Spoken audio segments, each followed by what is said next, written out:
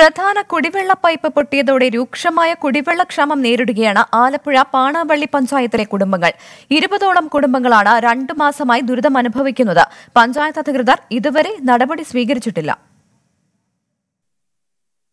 Covid കാലത്ത് മലിനജലം കുടിക്കേണ്ട ഗതികേടിലാണ് പാണാവള്ളി പഞ്ചായത്തിലെ ഇരുപതോളം കുടുംബങ്ങൾ. റോഡിനടിയിലെ കുടിവെള്ള പൈപ്പ് പൊട്ടിയതോടെ ഇവരുടെ കുടിവെള്ളം നിലച്ചു. താൽക്കാലിക സംവിധാനങ്ങൾ ഒരുക്കാൻ അധികൃതർ തയ്യാറാകുന്നില്ല. ഒന്നര മാസമായിട്ട് ഞങ്ങൾക്ക് വെള്ളമില്ല. ഞങ്ങൾക്ക് ഈ ജപ്പം വെള്ളം കൊണ്ടേ ഞങ്ങൾക്ക് പ്രയോജനമുള്ളൂ. വേറെ ഒരു വെള്ളവും ഇല്ല ഞങ്ങൾക്ക് ബോർവെല്ലില്ല. ഈ ജപ്പാൻ വെള്ളം കൊണ്ട് എല്ലാ ഉപകരണം എല്ലാത്തിനുമൊക്കെ കഴിയണത്. ബാത്റൂമിൽ പോകാൻ ഇപ്പോൾ ഞങ്ങൾ വീലിംഗ് ഷെഡിൽ പോയി ജോലി കഴിഞ്ഞ് വന്നാൽ ഞങ്ങൾക്ക് വെള്ളമില്ല. ഈ വെള്ളം മാത്രമേ ഞങ്ങൾക്ക് ഒരു അഭയമുള്ളൂ. പൊതുമരാമത്ത് ജലവിഭവ വകുപ്പിൽ തമ്മിലുള്ള തർക്കമാണ് പൈപ്പ് നന്നാക്കുന്നതിലെ കാലതാമസം. പഞ്ചായത്തും മൗനം തുടരുകയാണ്. പി ഡബ്ല്യു ഡി ഇപ്പോൾ റോഡ് മുറിക്കണമെങ്കിൽ വാട്ടർ അതോറിറ്റി പി ഡബ്ല്യുക്ക് പൈസ കൊടുത്തെങ്കിൽ റോഡ് മുറിക്കണമെന്ന് പറയണം പക്ഷേ ഇപ്പോൾ പി ഡബ്ല്യൂയും പിന്നെ വാട്ടർ അതോറിറ്റിയും കൂടി തമ്മിലുള്ള മത്സരം കാരണം ഇത് കഷ്ടപ്പെടുന്നത് നമ്മളിവിടെ ജനങ്ങളാണ്. നമുക്ക് വേറെ ശുദ്ധജലം കിട്ടാൻ സാധ്യതയില്ല. വൃത്തിഹീനമായ വെള്ളം ഉപയോഗിക്കുന്നതിനാൽ പകർച്ചവ്യാധി ഭീഷണിയിലാണ് പ്രദേശം. ട്വന്റി ആലപ്പുഴ.